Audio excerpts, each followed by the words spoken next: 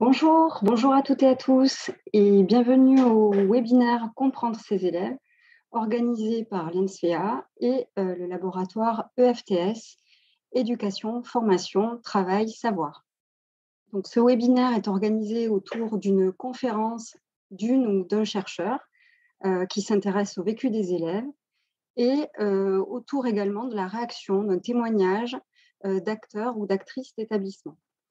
Donc, je suis Julie Blanc et j'ai le plaisir d'accueillir aujourd'hui Michel Vidal, euh, formateur-chercheur à l'Institut Agro de Dijon, également associé à l'unité mixte de recherche EFTS.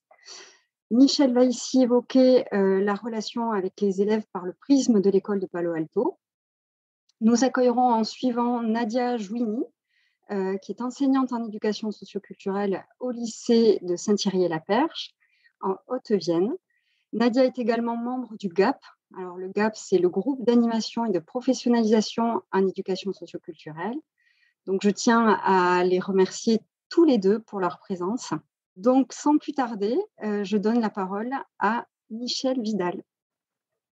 Merci, Michel. Merci beaucoup, Julie.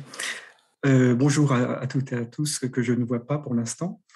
Euh, voilà, donc sur, la, sur la question de comprendre ses élèves, donc je vais vous présenter comment l'école de Palo Alto aborderait cette question-là euh, et euh, de vous expliquer en même temps qu'est-ce que c'est que cette école de Palo Alto qui a un nom si particulier. Je vais m'appuyer quand même sur quelques diapositives pour vous aider pour les visuels. Alors, la question, lorsque, la question que je me suis posée au départ, c'est finalement, quand, je regarde ça sous l'angle de l'école de Palo Alto, c'est, on dit comprendre ses élèves, c'est comprendre finalement quoi. Et dans la manière dont, l'école de Palo Alto se, positionne, il va regarder ça d'une certaine façon et qui peut être un peu euh, détonnante par rapport à d'autres façons de voir les choses. Et en particulier, moi, je me suis beaucoup intéressé à la question des, élèves en difficulté ou des élèves difficiles. Euh, pour moi, c'est très intriqué, ces, deux notions-là. Et finalement, qu'est-ce qu'il fallait comprendre derrière ça? Et quand on regarde la notion d'élève qui a des problèmes, et si on regarde ça dans l'histoire, on se rend compte qu'on euh, a eu différentes paires de lunettes pour essayer euh, de comprendre quel était cet élève finalement. Et l'idée pour moi n'est pas de dire il y a une paire de lunettes qui est meilleure que, les autres, mais c'est plutôt de dire est-ce qu'on pourrait voir un peu l'échantillon des paires de lunettes, comment elles regardent les choses, et comme on est dans une vision quand même là plutôt pragmatique, de dire ben, comment on peut faire pour, pour travailler avec ces élèves-là, pour les aider, eh ben, de se dire ben, plus on a de paires de lunettes, eh ben, mieux c'est. Euh, et donc, on voit que, dans l'histoire, euh, je vais le balayer très rapidement, mais que, en gros, euh, fin du, apparaît la notion d'élève, on va dire, et d'enfant anormal, avec, curieusement, l'apparition de l'école obligatoire. Et certains chercheurs font une corrélation assez étroite entre la notion d'école obligatoire et l'émergence d'enfants anormaux. Au 19e, on va parler euh, avec l'école obligatoire, on va commencer à parler d'élèves arriérés, d'élèves débiles. Euh, donc, ce sont les termes consacrés à, l'époque. Hein, et on donne souvent euh, une cause sociale, en considérant que l'école obligatoire intégrait notamment des élèves qui étaient dans des classes socio-économiques plutôt, on va dire, faibles. Eh bien, ces élèves-là qui arrivaient dans l'école et qui ne connaissaient pas trop les codes de l'école étaient vus sous l'onde de la question de l'intelligence, d'un manque d'intelligence, et qu'on liait à, leur vécu euh, socioculturel. Jusque dans les années 40, euh, où avec euh, le développement de, la psychiatrie, la psychiatrie dominant va commencer à dominer à cette époque-là, et on va parler, dans ces cas-là, plutôt d'enfants déficients, d'enfants délinquants aussi, hein, parce qu'on va aussi regarder ça sur l'angle moral, notamment le régime de Vichy va beaucoup s'intéresser à la question de la morale, euh, il veut travailler sur les enfants délinquants, et en leur donnant plutôt là, euh, des causes biologiques euh, aux raisons qui expliqueraient cette forme d'anormalité. Sans balayer ces autres approches, dans les années 60, c'est l'approche psychanalytique qui, va de plus en plus dominer en France. Et là, on va plutôt parler d'enfants névrotiques ou psychotiques, en assignant parfois des causes, et souvent d'ailleurs plutôt des causes parentales, hein, à, leurs à leurs problèmes, ce qui a fortement culpabilisé les parents, ou alors des causes socioculturelles. Et puis, euh, là, depuis 1990, là, on a l'émergence d'une autre façon euh, de voir ces questions de, entre guillemets, euh, d'anormalité. c'est avec le développement des neurosciences et notamment donc le développement d'enfants qui auraient des troubles neurodéveloppementaux et avec toute l'apparition des formes de 10 hein, que, que l'on connaît tous. Toutes ces lunettes-là préexiste encore. On est plus ou moins imprégné par euh, une lunette ou par plusieurs. Et puis, moi, je vais m'intéresser à la dernière lunette qui a émergé dans les années 70, qui est peut-être moins médiatisée, mais qui vise à finalement ne plus médicaliser l'élève, euh, ne plus essentialiser le problème vis-à-vis -vis de l'élève, mais plutôt d'envisager un sujet qui est dans un système qui, lui, est dysfonctionnel. Et si le système interactionnel avec d'autres personnes est dysfonctionnel, eh bien, le comportement qu'il peut avoir, qui peut nous poser problème, euh, eh n'est qu'un le symptôme de ce système qui est dysfonctionnel. Et donc là, euh, c'est de voir dans ces cas-là le problème d'une manière non plus euh, pathologisante, mais plutôt d'une manière systémique et en particulier et d'autre part non normative, c'est-à-dire de se dire non, on ne voudrait pas des élèves comme ci ou comme ça, l'élève est tel qu'il est, avec ses propres normes, hein, et à un moment donné, c'est peut-être un conflit euh, de normes, un conflit de besoins qui peut générer le problème. Donc l'approche de Palo Alto est fondamentalement non pathologisante donc, et non normative. Et ça va modifier, je pense, fondamentalement la manière dont on va regarder euh, l'élève et la manière dont on va essayer de comprendre qu'est-ce qui se joue pour lui dans le système dans lequel il se trouve. Parce que dans le comprendre, là, notre visée dans l'école de Palo Alto, c'est ou bien quand je suis dans une posture d'éducateur qui est plutôt euh, aidant, hein, un élève qui vient à moi et qui dit, voilà, j'ai tel problème et ça va, ça va plus pour moi. Là, dans ces cas-là, mon objectif, ça va être de lui redonner une certaine forme de pouvoir d'agir, par rapport à, ce qui se joue pour lui dans le système dans lequel il interagit, hein, de, et viser essentiellement à dissoudre sa souffrance. Parce que la question, là, euh, dans l'école de Palo c'est bien de se dire qui souffre et de réduire donc, voire d'annuler cette, cette souffrance. Et c'est aussi, dans le comprendre pourquoi, c'est en tant que pédagogue, il peut m'arriver d'être en confrontation avec des élèves avec qui ça ne va pas du tout. Et la question que, là que je vais me poser, c'est comment euh, il faut que je m'aide moi dans un premier temps hein, et comment m'aider au mieux en travaillant euh, ce système interactionnel qui est, euh, qui est déficient. Et donc de chercher à créer une relation favorable pour permettre à chacun d'avoir une responsabilité équilibrée. Et cette notion de responsabilité équilibrée est sans doute aussi un peu clé de voûte dans l'école de Palo Alto, parce que souvent elle considère que d'un côté, dans l'interaction déficiente. D'un côté, il y a quelqu'un qui porte une hyper-responsabilité quelque part, qu'on peut avoir souvent en tant qu'éducateur, c'est-à-dire de dire je tiens, euh, je tiens ce que la personne évolue, je tiens ce que la personne euh, apprend, je suis aussi évalué quelque part d'une certaine façon là-dessus. Euh, je tiens aussi un, un, curriculum, il faut, il faut le, le finir à la fin de l'année.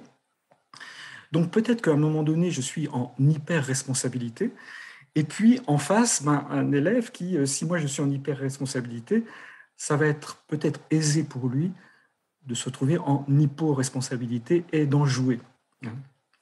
Et donc la question, là, c'est de pouvoir rééquilibrer euh, ces, responsabilités et puis de permettre euh, à l'ensemble des acteurs du système de trouver ou de retrouver du sens dans son action. Parce qu'à un moment donné, je pense qu'on risque de le perdre à vouloir lutter contre, contre quelqu'un ou contre un système et d'oublier qu'est-ce que je veux moi derrière, derrière tout ça. Et donc, euh, comment, comment on aborde ça dans ces cas-là dans l'école de Palo Alto lorsque euh, on se positionne dans ce type de, euh, dans, ce, dans ce type de compréhension systémique de ce qui se joue pour, pour, pour l'élève? Alors vous voyez que là, ça, ça, ça, change fondamentalement la donne parce que je ne vais plus m'intéresser de savoir, mais est-ce que finalement j'ai appris que euh, voilà, il ses parents avaient divorcé, j'ai appris qu'il y a quatre ans, il a, perdu sa, il mère très jeune, etc. etc. Je vais pas regarder ça parce que, à la limite, même si ça, je, je l'apprends, et peut-être que c'est la vérité, et peut-être que ça explique pourquoi l'élève est maintenant comme ça, et quand bien même, qu'est-ce que je peux en faire? Je me sens un peu impuissant dans ce, dans ce diagnostic-là. Et donc, la question, c'est comment opérer un, diagnostic sur lequel moi j'ai un pouvoir d'agir en tant qu'éducateur, enseignant au sens large du terme. Là, dans ce schéma-là, eh bien, euh, je suis en bas, je suis les dents. Je suis les dents qui, euh, avec lequel donc je vais interagir avec un jeune qui vient me dire voilà j'ai un problème, peut-être avec lequel j'ai aussi un problème. Et euh, ce jeune, il me dit voilà j'ai un problème avec tel prof, avec l'école, etc., etc. Et donc, ce qui va m'intéresser, moi, dans la manière de comprendre l'élève, c'est bien de comprendre certains éléments de ce système-là. Je vais essayer de comprendre quelle est la vision du jeune, de la personne là, qui est en train de me parler. Sa vision du monde, ça veut dire, en gros, quels sont ses besoins, quelles sont ses normes. Euh, est-ce que, par exemple, un élève qui vient me dire, mais on vient, on n'arrête pas de m'embêter pour que je travaille, je suis collé en permanence euh, parce que je, parce que je, je ne fais rien du tout à l'école, etc. Euh, j'en ai marre. Euh, j'ai des mauvaises notes, mais j'en ai rien à faire. À partir du moment où un élève commence à dire bon, j'ai des mauvaises notes, j'en ai rien à faire, c'est sa norme, c'est sa norme. Et essayer de dire ça serait quand même bien que tu travailles, ça serait quand même bien que tu augmentes tes notes, parce que quand même, pour ton avenir, oui, mais là, je suis en train de parler pour lui et je suis en train de lui poser mes propres normes. Et la, première, euh, la, première stratégie à avoir, hein, c'est de pouvoir accueillir ces normes telles que la personne le pose sans porter aucun jugement sur elle. Donc, je vais essayer de comprendre cette vision du monde sans, juger, ce qui n'est pas facile. Hein. ce qui est pas, des fois, on, a des normes qui on se dit oulala, pas facile à accepter, mais voilà. À un moment donné, l'accueillir, c'est pouvoir permettre à un moment donné à l'interaction de changer. C'est ça qui est fondamental. Et puis, je vais essayer de comprendre comment euh, cette personne interagit avec d'autres acteurs et qui font problème et qui vient me dire j'ai des problèmes avec telle, avec l'école ou avec telle et telle personne. Et j'essaie de comprendre comment cette interaction se fait. C'est-à-dire, lui, comment il, il, il, agit, comment les autres acteurs euh, réagissent, hein, selon lui, bien entendu, et puis comment, en fonction de cette réaction, comment lui, il, surajoute là-dessus, comment il réagit à ce que les autres lui font. Et donc, euh, essayer de comprendre cette boucle-là, cette boucle systémique qui se joue entre le jeune et puis euh, d'autres acteurs ou avec un système, et comment ça joue? Euh, et, quand ça joue bien, on ne se pose pas trop la question, c'est quand ça joue mal que ça devient plus problématique.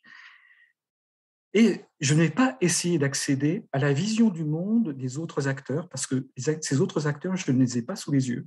Je ne peux pas les interviewer, et ce n'est pas eux qui me disent qu'ils ont un problème. Donc ça, je ne vais pas du tout m'intéresser à ça. Je vais m'intéresser à sa vision du monde, du jeune, et puis à cette boucle interactionnelle qui se joue telle que le conçoit le jeune. Et bien sûr, moi, en tant qu'aidant, eh bien, je, je, rentre dans le système. Et ma question pour moi, avec ma vision Palo Alto, donc ma vision du monde très particulière Palo Alto, c'est comment je vais pouvoir interagir avec lui, appartenant maintenant au système, pour l'aider et pour aider le système. Alors ça donne quoi? Alors, ça donne, euh, dans, ce comment, euh, voilà, ça donne des, questions, euh, en tout cas des, orientations qui, pour moi, vont m'aider, en tout cas dans la compréhension de, de l'élève, dans sa position du monde et dans, dans, ses, dans modes interactionnels. C'est d'une part, voilà, je vous disais, c'est d'une part de me dire, là, je vais accueillir la personne selon ses normes, selon ses besoins, et je vais essayer de les comprendre en essayant de faire totalement abstraction des miennes.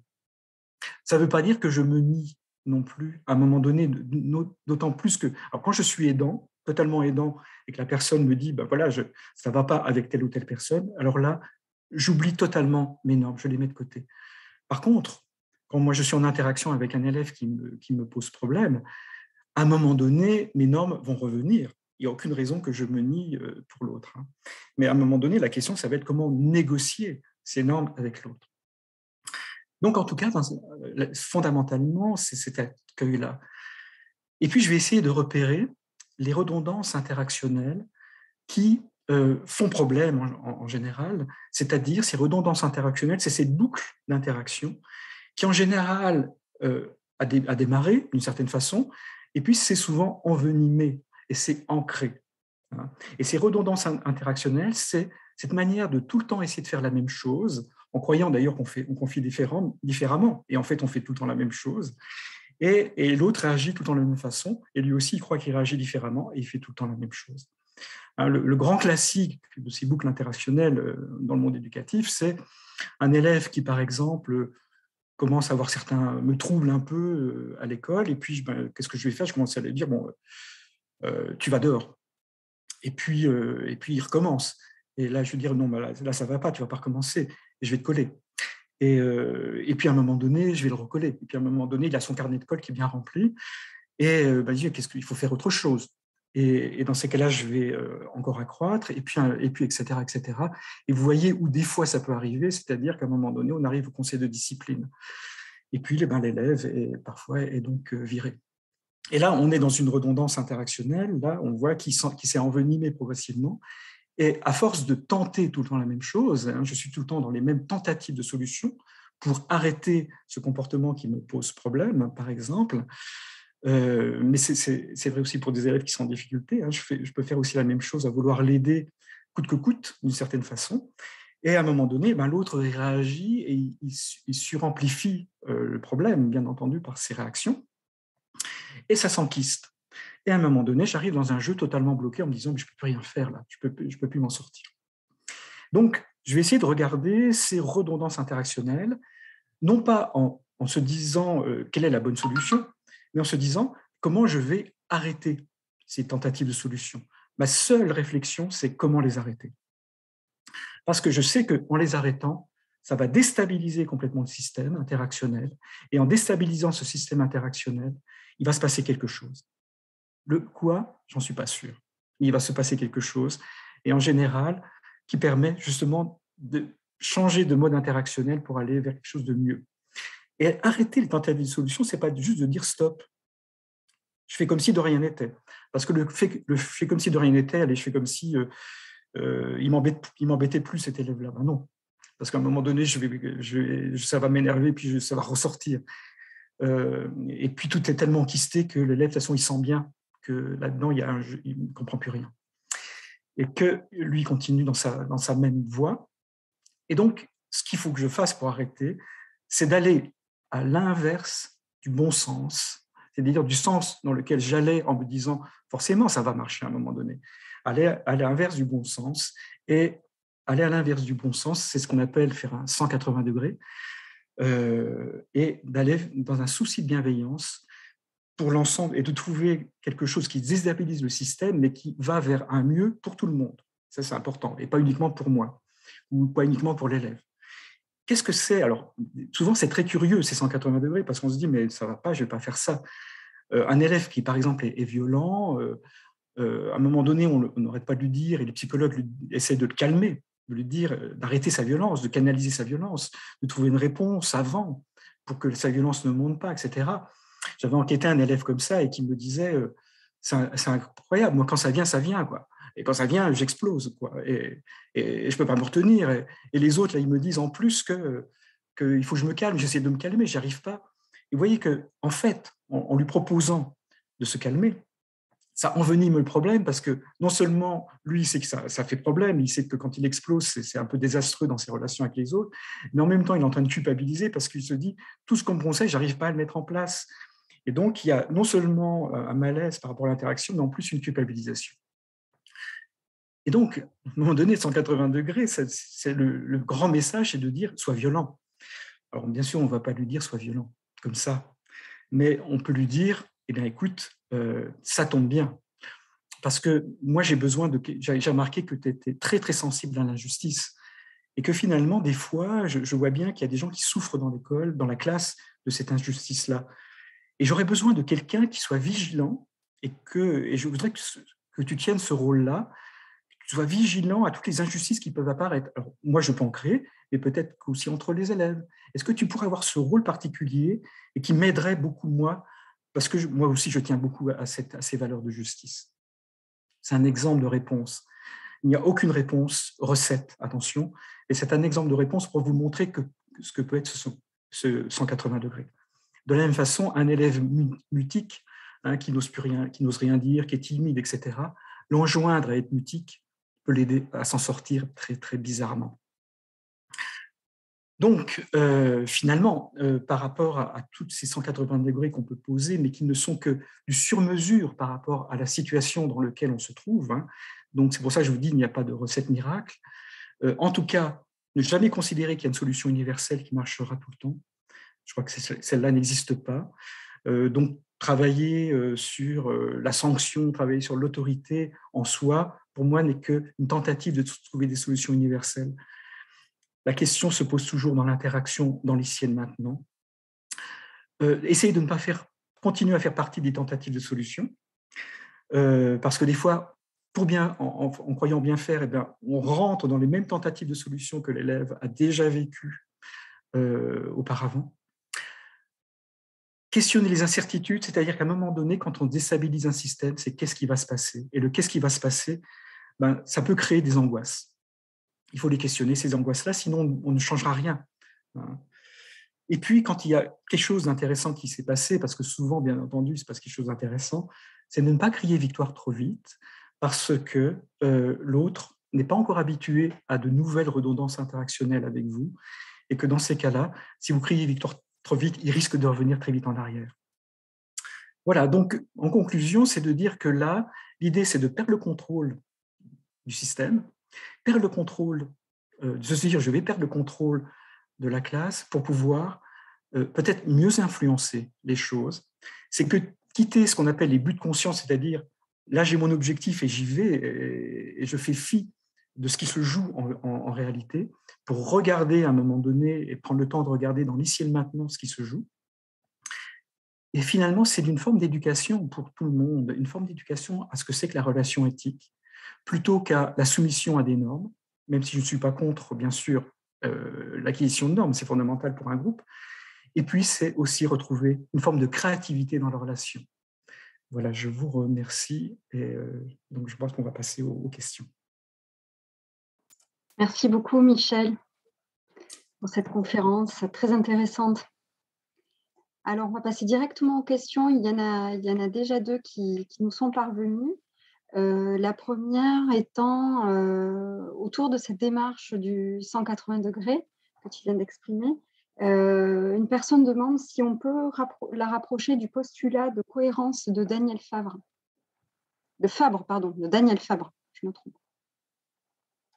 Alors, pour moi, d'une certaine façon, on va dire, d'une certaine façon, dans le sens où a la, question dans, dans, le Palo Alto, c'est de ne plus être dans le, euh, euh, ce que je, ce que j'espère de ce que ça devrait être le système, mais à un moment donné de revenir à la réalité des choses. Elle est, il y a ce qui est. Et à un moment donné, si je ne fais pas avec ce qui est, de toute façon, je vais, je vais à un moment donné amplifier le problème de ce qui est déjà. Et donc, dans cette notion de cohérence euh, qui est, proposée par, euh, par Daniel, c'est là où je, me je rejoins, je le rejoindrai euh, dans ce souci de, retrouver dans ce qui est, moi, qu'est-ce que je vis personnellement et ne pas faire fi de ce que je suis en train de vivre et de ne pas faire comme si je serais le professeur comme ça et de ne pas être dans un espèce d'idéal et de l'élève et de moi et de re-rentrer dans, dans l'ici et maintenant, dans cette forme de réalité Qu'est-ce qui se joue vraiment et comment je vais mettre en, enfin, remettre en scène ce qui se joue vraiment plutôt que d'essayer de, de, nier les choses? Je pense que le 180 degrés est, là-dedans. Hein.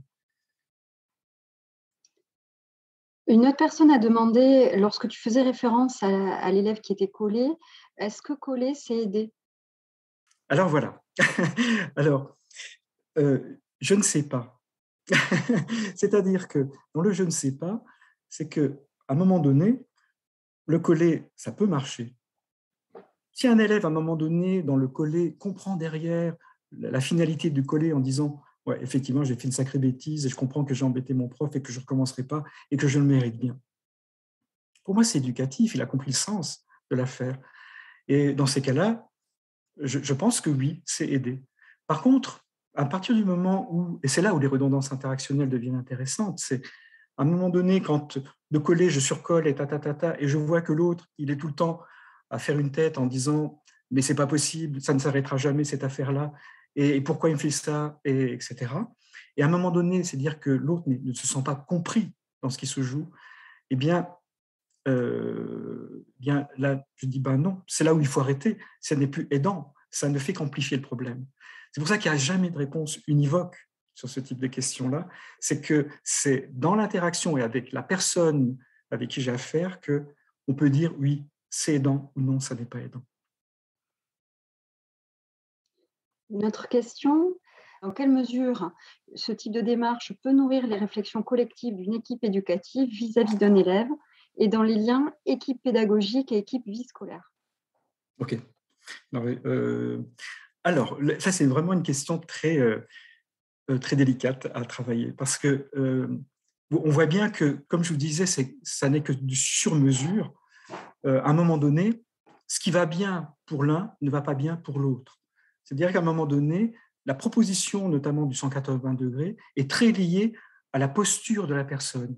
Une posture qui, euh, qui serait plutôt, euh, euh, comment dire, de dire non, non, mais moi, je n'ai pas envie de, de, rentrer dans l'autorité avec l'élève, ça ne m'intéresse pas.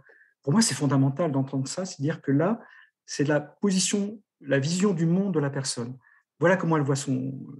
Et dans ce cas-là, il fallait que je trouve un 180 degrés qui colle à cette vision du monde. À l'inverse, si quelqu'un dit moi, j'ai besoin de retrouver une autorité. Là, ça ne va plus du tout.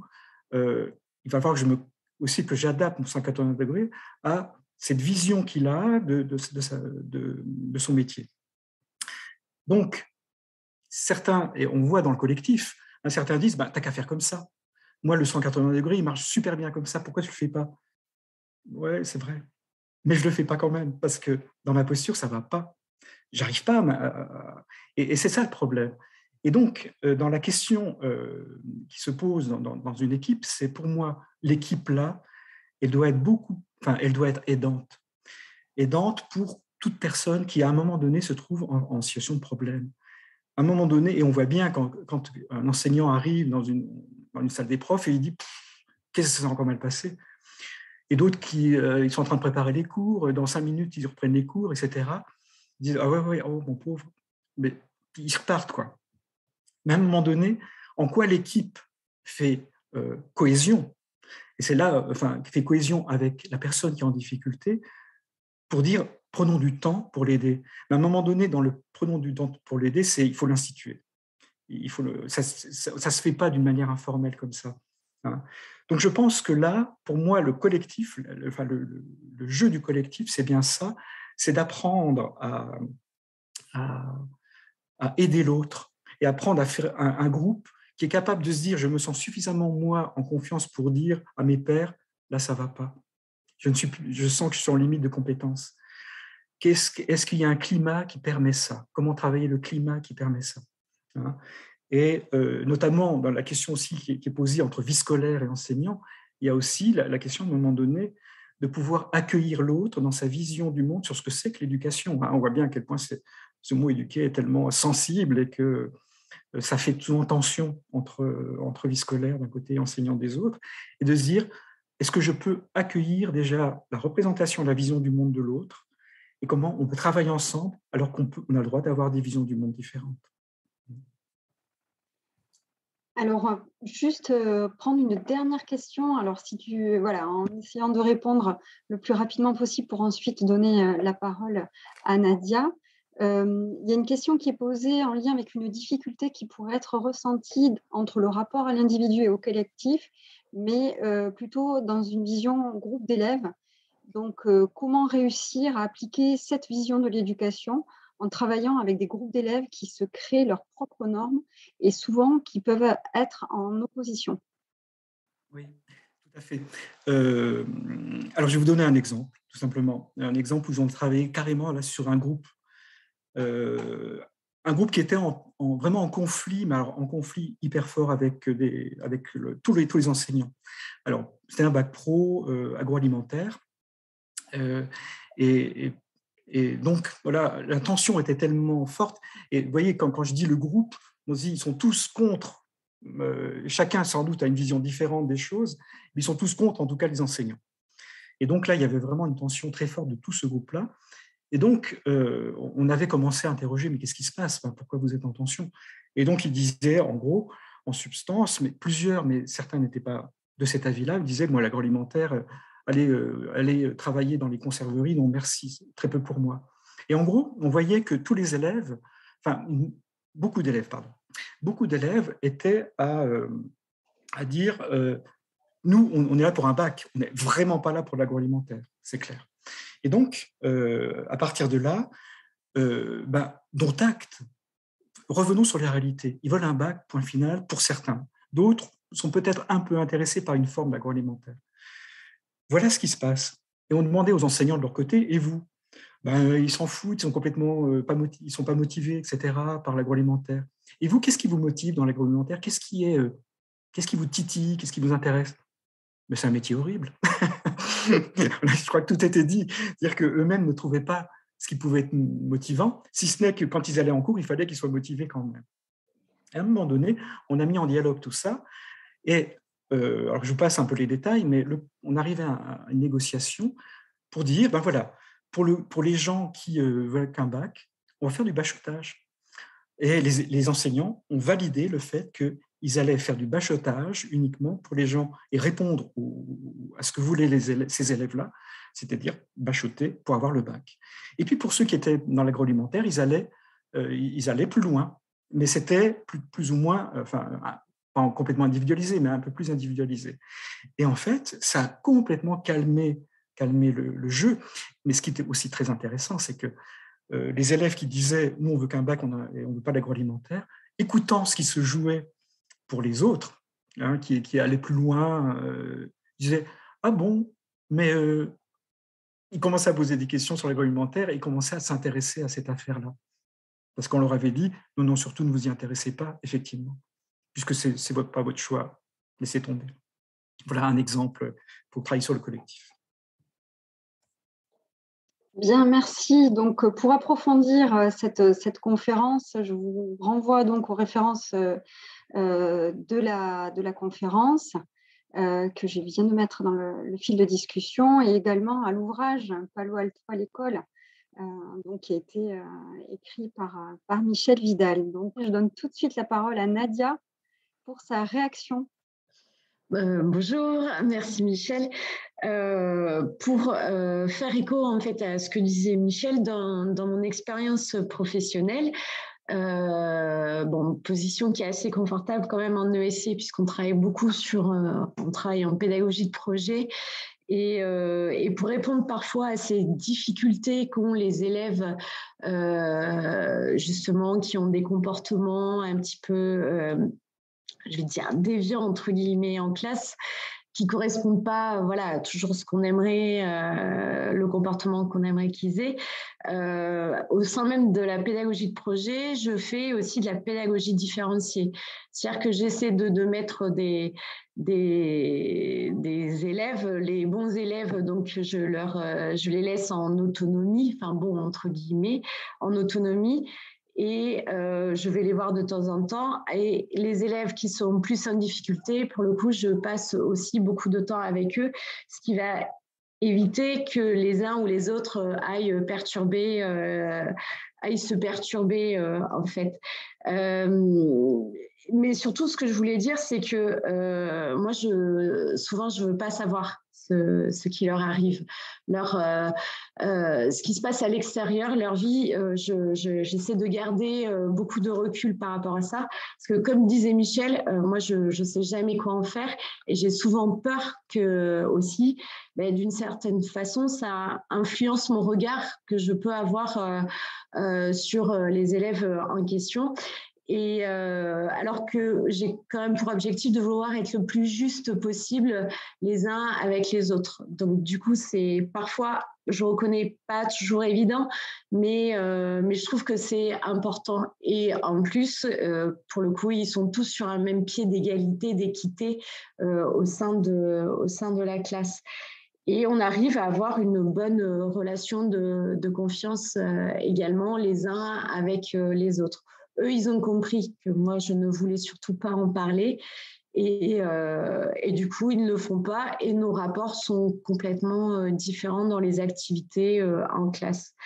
Et parfois, donc pour les élèves aussi en difficulté, mais je pense que beaucoup d'enseignants le font, c'est euh, essayer de les responsabiliser un peu aussi au sein de la classe, distribuer des documents ou autre, et ça les valorise aussi. Donc euh, du coup, là, ils voient que moi, je leur fais confiance également euh, au sein même de la classe. Et, et, ils deviennent de plus en plus volontaires au sein des activités que, je mets en, place en, classe et avec les autres élèves. Voilà, Julie, j'ai fini, je pense, je suis dans le timing. Oui, bien sûr. Merci Nadia. Merci Nadia. Ben, du coup, euh, il est temps pour nous peut-être de conclure, euh, ce, webinaire. Donc, je vous remercie à, tous les deux, Nadia, Nadia Jouini, donc euh, Michel Vidal, Merci également à toutes et tous pour votre participation.